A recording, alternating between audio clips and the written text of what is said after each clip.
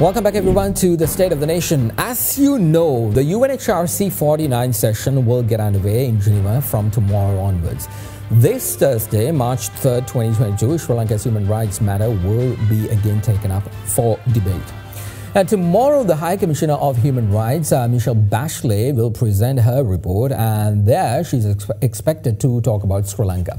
Sources close to the Minister of Foreign Affairs tells me that her views towards Sri Lanka much more positive this time around, as she has accepted more steps taken by Sri Lanka on the human rights front.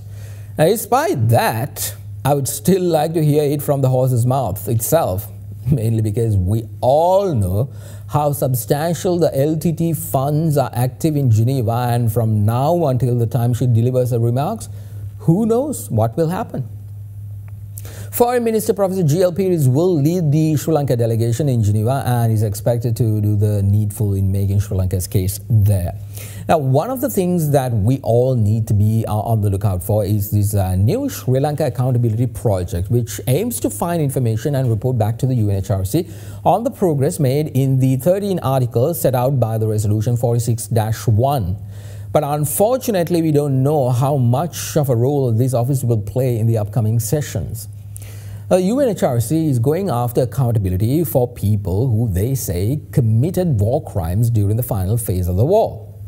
They say this would eventually help the Tamil people in Sri Lanka to find solace and comfort and closure. Really? That's what would bring them relief? If this is all done for the betterment of the Tamil people, how were they treated during the past 13 years since the war ended? Once again, here's Danidu Vitanwasa.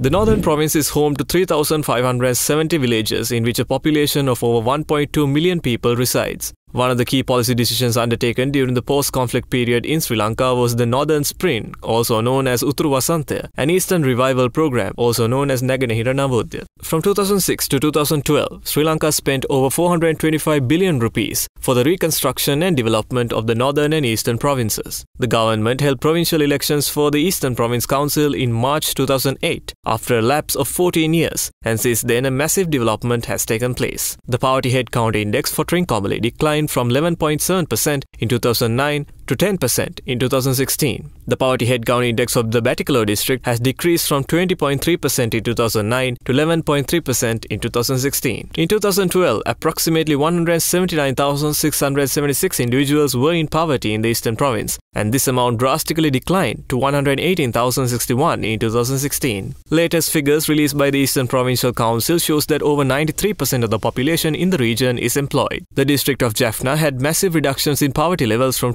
2009 onwards, where it was once at 12.4% in 2009, dropping to 6% in 2016. Jaffna as a district displays one of the lowest figures of those not attending school, which ranges at about 1%, as opposed to a country average of close to 5%. Apart from the distinctive culture of Jaffna and its famous Nallur festival that attracts over a million people a year, almost 92% of the people being Hindus adds to the rituals and norms that goes with regards to art, music, dance, painting, and the overall feel of the city. Under the Ministry of Development within the current administration alone, a number of key infrastructure projects have been initiated and completed under the current administration as well. Over 1.39 billion rupees has been spent on currently completed projects under the guidance of the UDA, and multiple projects have already been initiated, primarily focused on the development of infrastructure in the northern and eastern region. Earlier this month, President Gotabaya Rajapaksa opened the 17th National University of Sri Lanka in Vavuniya.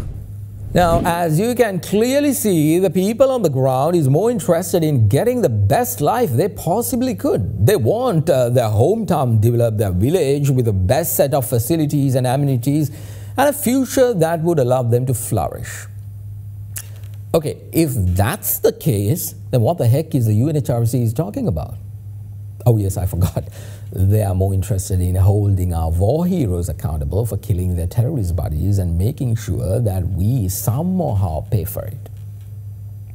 When the US troops defecated on Afghanistan and pretty much ruined their country for 10 years and handed it back to the same captors, the Taliban, the United Nations within weeks came with a relief package of $5 billion.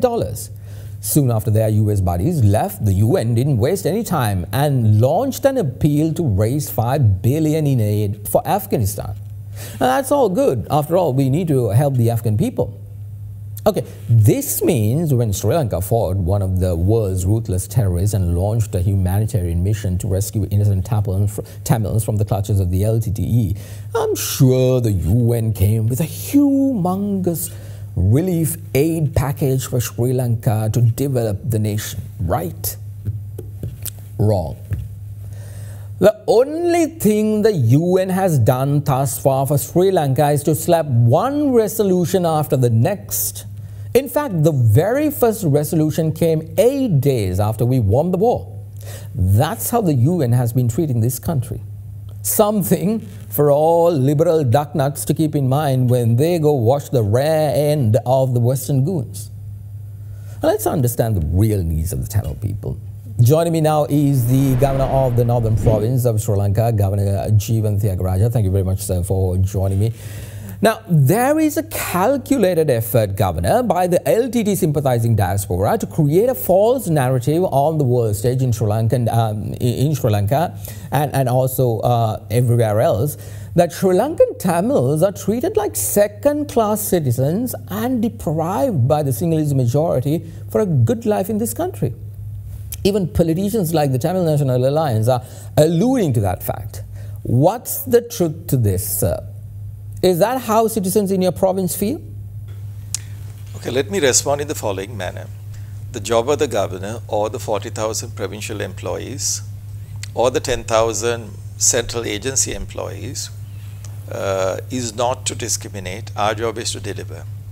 So when we deliver, we are not excluding anybody, we are including everybody. And we respond to the real development needs, essential requirements and the safety and the security of every single citizen who lives in the province or comes into the province. And fundamentally, the word discrimination is not in our vocabulary. If anybody were to discriminate, they'll be punished. That's all. That's the bottom line. Governor, this time around another push has been made in Geneva to bring in another resolution. That's what we are hearing from there by uh, the said LTT sympathizing diaspora, backed uh, by governments uh, who, who, are very sympathetic to their cause. Uh, is this helping to create a better life for Sri Lankan Tamils here? I take a slightly different view with no disrespect to the UN. I have a long association with their systems and mechanisms. And bluntly put, what matters for people is delivery on the ground. Resolutions alone don't deliver, action does. And I'll give you a classic example. Today, there were two the His Excellency the President had called a meeting of all the governors and he spelled out the need for very responsive public service, uh, keeping a careful eye on cost of living, production, agriculture, inputs, uh, so on and so forth. So essentially ensuring the welfare of the citizens. That's at one level. Secondly, I'll give you another example. Today, people do come and protest in front of the office of the governor.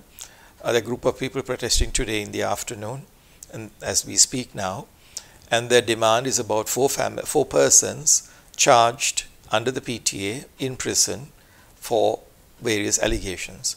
The response is, and I'll tell you this is what I mean by deliveries, yes, give us your details. We'll check the next court, next court date.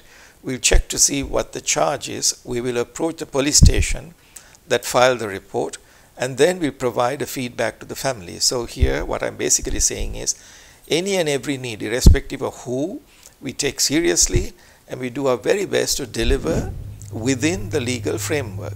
And this will be true for anything and everything that concerns the citizens of the northern province. Anything and everything, I'd like to emphasize.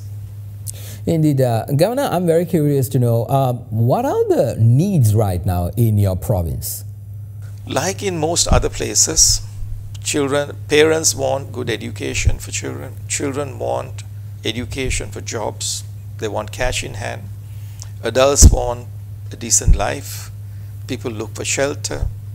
They want to ensure that healthcare is available, that they have mobility, they have freedom to travel, they have the means to travel, they have other opportunities in markets, that there is safety, security, law and order, uh, where there is a claim on land, access to land, uh, credit facilities, banking services. See what people want. Indeed. Uh, we have to leave it at that, Governor of the North, Northern Province, Jeevan Thiagarajah. Thank you very much, sir, for joining. Let's take a short commercial break and when we return, hopefully, we will have electricity. This is State of the Nation. Back in a moment.